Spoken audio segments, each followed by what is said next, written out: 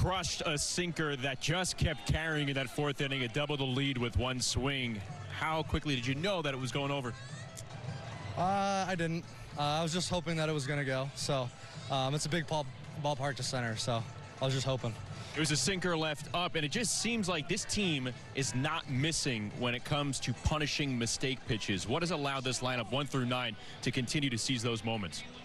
Uh, I think it's just the game plan that the coaches and us have built um, going into this season and continue to evolve. Um, every team's going to pitch us a little bit differently, so trying to pick up that as early as possible and help the next guy coming down the lineup um, kind of report back. So I think that's been been really good, and the camaraderie has been really good. Aaron Boone said he's like your swings pretty much all year, even in the very beginning, the very first two weeks when the results weren't there. How would you assess where you're at offensively as you continue to platoon with Jose Trevino? Grinding.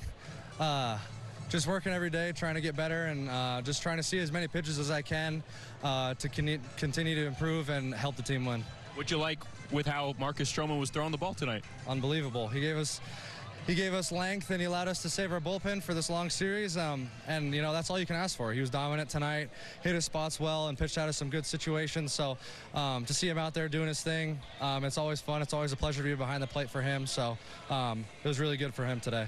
This team's 27 games above 500. Have you ever been on a squad rolling like this right now? no. No, it's been a lot of fun, and uh, I think we're going to try and keep doing that. Awesome. Congratulations. Thanks for the time. Thank you. Thank you. Back to you guys in the studio.